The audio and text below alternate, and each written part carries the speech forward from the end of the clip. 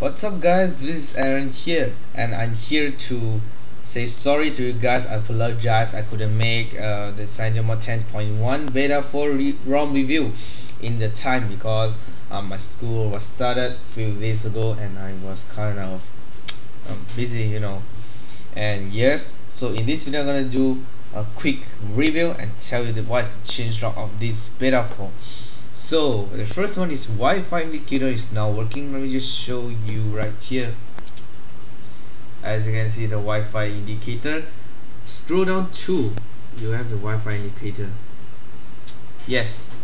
So the second one is network location fixed. AGPS is now working. And lock screen improvement. So the date is visible in the lock screen.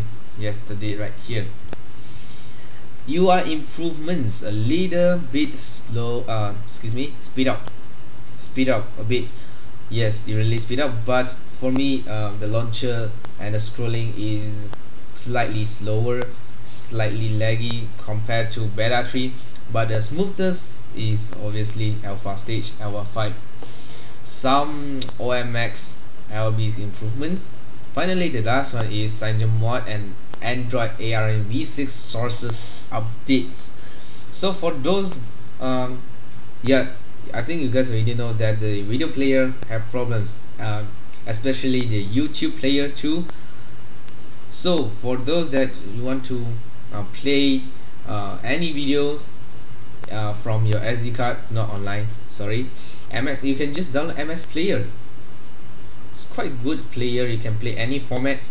Uh, you can play 480p without laggy so I'm gonna play a video. Gonna play a video in it is 360p so I'm gonna rotate it. You can play yeah I'm gonna play rotate. Very very smooth without problem without laggy yes any format too. So I, I really like this. It's called MX Play. I will put the link the download link in the description.